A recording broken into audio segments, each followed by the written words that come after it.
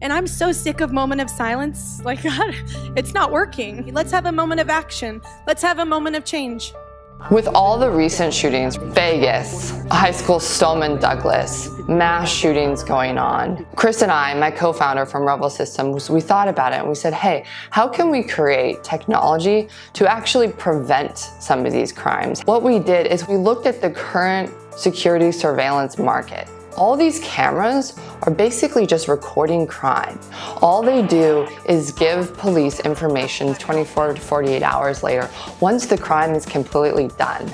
They're not sending the police any information in real time. And so we said, hey, how can we use artificial intelligence and cloud-based technologies to actually prevent crime and help save people's lives. We have created the next generation smart camera and alarm system. An Athena camera picks up dangerous objects and dangerous motions, such as someone pulling out a gun. It can then alert on that and contact either the business owner or a government official and have them voice into the camera. This is Athena. I see you have a gun. Please stop committing a criminal offense. I have already called the police and they are on their way. You can also use it as an alarm system. Currently, how alarm systems work is someone breaks in and the police don't come because they're so used to false alarms.